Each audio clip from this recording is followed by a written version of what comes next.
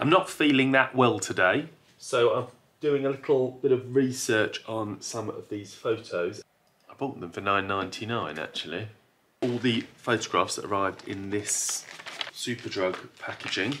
And it was interesting because there's these two versions of the same family, obviously taken at the same time, and there's two positions that they're in. So I found that really, really interesting. Uh, there's not a name on the back of this, but I know that it was taken on Good Friday 1896.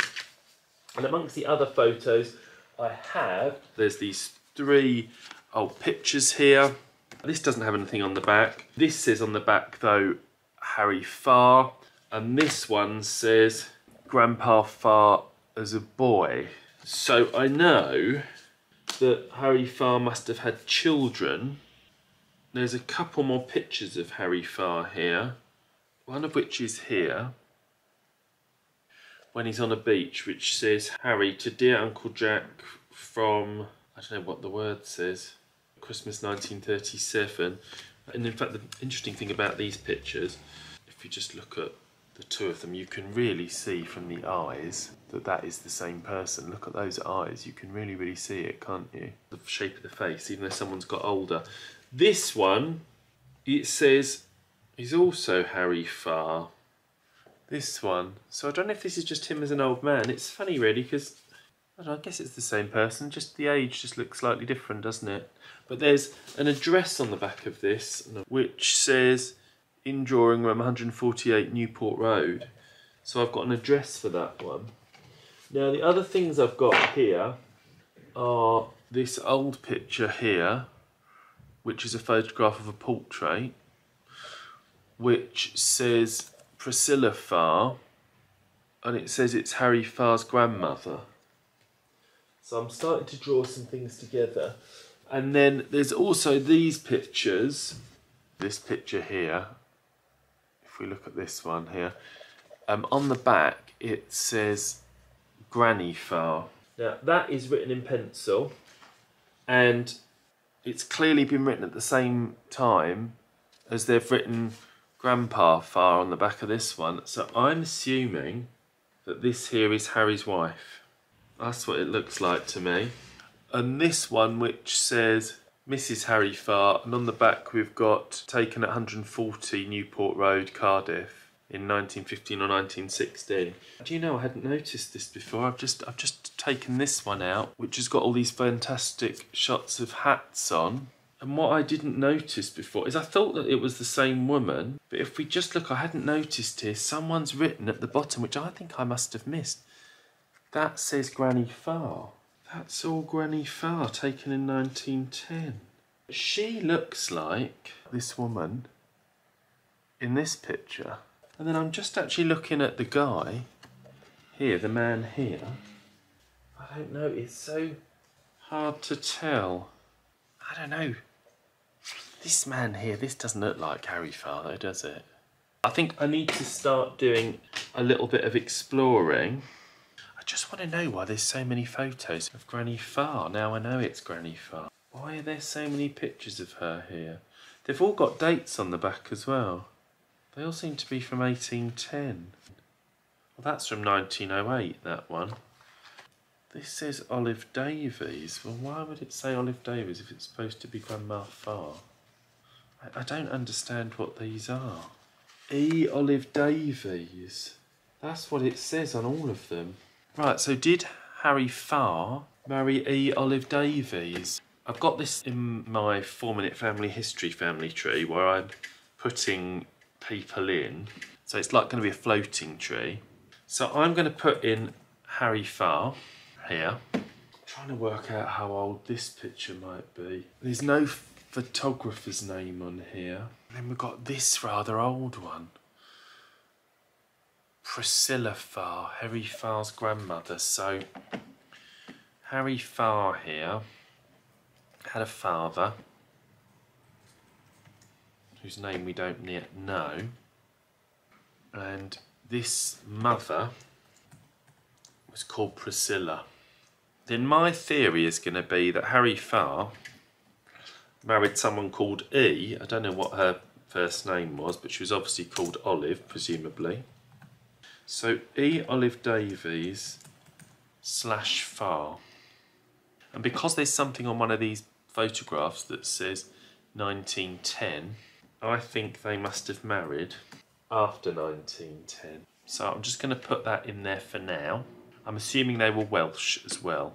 Now I'm just going to do a search initially because I have honestly have no idea if this is going to bring anything up. Let's look at English marriages because probably he probably wasn't even called Harry to be fair. He was probably called Henry. Let's see if we can find a marriage for Harry Farr and Davies. Let's start with Farr. Oh, I can't see the name of the person they married, can I? I'll tell you what, let's go into search your records and we'll do something different because they know we know they lived in Cardiff. So if I put in Harry Farr and then I put in Cardiff, let's see what that brings up. There's a Harry Farr in the 1939 register. That's for Bute Street. When he could have been a Henry Farr. Alright, let's see if we can put in a spouse then. Let's just see if we can add a spouse. And if we put in Davies. Oh, look. Look what's come up there. Elsie Olive Davies. Someone's got him in their tree. Elsie Olive Davies. Marriage here. Residence 1932 in the British phone book. Let's have a look where this is. Farr, let me look. Harry Farr, look, this is him. Harry Farr, 148 Newport Road. And I know that's correct because he says it on the back of this picture of him. This is him in the drawing room in that house. So this is definitely the right Harry. God, this is exciting, isn't it? This is him. He's a descendant of these people. She was Elsie Olive. Harry and Elsie Olive had a son called John, had another son. You just wonder how photographs end up, don't you, on like eBay or for sale or not wanted. But of course, it could have gone down any strand. The photographs could have gone down, photographs could have gone down other children here. I mean, there are two siblings. Who knows where these pictures went? But clearly this person down here who's got two siblings is interested. Wow. Elsie Olive Davies said that she they married in 1913. So now we just need to see on this tree, does it say, oh, his father was William. It's interesting then, isn't it? Because if he was born in 1874, this must be taken in what? He's not very old here, is he? Maybe 10, so in the 1880s? Maybe something like that. And this then makes sense, doesn't it? In that we've got these two pictures of Granny Farr. So this is Elsie Olive, and so is this in their home. Maybe it's not, it's 140, it's 148. Maybe that's what it is. Wow, okay, so that's really good. So let me just view in the family tree here. Oh, look, there she is. Look, we've got Harry Farr here, and then here we've got his grandmother, Priscilla Thick that is Priscilla Thick and it all ties in. I mean, to, to have a portrait means you a bit of money, doesn't it? Let's have a quick look at Priscilla Thick. She had quite a few children. Let's do a search here. There's no pictures of her. I mean, I'm assuming that someone had the painting of this and then someone had a picture taken of the painting. Gosh, isn't that incredible, really? Elsie Olive Davies, born in 1889. This woman it really looks like the older woman. It really looks like her. So I'm one now wondering if if she was born in 1889, if she's not one of the children in this 1896 picture, and looking at it, she'd have to be the eldest daughter, I would say. That's what I would have thought. So if I can see, did Elsie Olive Davies have two sisters? David Oliver Davies and Ada Annie Morgan. Right, look at this. They had three children, didn't they? Look. Three children. According to this, they had two daughters, Elsie Olive, who I'm thinking is this one here. Then Dorothy in 1891. Five, and then a boy, and that is a boy, John Richard Davies. So I'm pretty sure that that's who these people are. And looking at the Morgan here, one of the names on here, Great Uncle Jack Morgan in a question mark someone's written. So that must be Great Uncle Jack. So I'm assuming then that Ada Annie Morgan must have had a brother who was called John. There we go, here. John Morgan. He's not on anyone's tree, but I think that's who it must be. Goodness me, I mean, that is quite extraordinary, isn't it? Thanks to this person doing the work and putting the tree on, I've been able to work it all out. That must be her in the 1939 register. Look, they're at 148 still in 1939. They must have lived there for years. Harry Farr, Elsie Olive. Oh, born in 1890 here.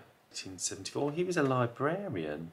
And look, they even had a daughter. That must be their daughter. Priscilla, born in 1920.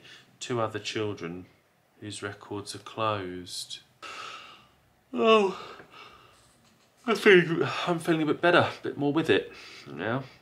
The last bits I've got is this really recent, well, recent to everything else, 1960s postcard. This is to someone called Rosemary, and there's this school photograph here, which I can't even read the school. Something Road Primary School, Cardiff and then Rosemary, end of Top Girls. I don't know how old that is. How old is that picture? It sort of maybe looks 40s to me. 30s probably, now, 30s probably. So I think that these possessions were belonging to someone called Rosemary, is what I suspect. Harry must have had a granddaughter called Rosemary. And now I'm pretty sure I've identified who these people are. I've realised that this is the same guy in this picture. Clearly. That's the same guy. So that means that this is a later picture of um, David Oliver Davies. I'm sure that is the same guy. The eyes just look so similar. And the hairline as well. Just trying to look at the ears Ears look similar too so I'm pretty sure now that that is David Oliver Davies I never thought that I was going to be able to piece all these people together it's quite surprising really I bet even the person who wrote all the names on didn't know who they were just didn't realise these would look fantastic if I scan them in and have them lit large, they'd look fantastic, wouldn't they, to see all those images? So that's something I need to do really. This one, this one, and this one are all the same image. Are there any other duplicates? Oh, this one and this one are the same. This looks like it was taken on the same day as this actually. But I've definitely worked out who they are. Even Priscilla. Even it appears this picture, which was just completely anonymous. Now it seems quite obvious who these people are. That's a success story.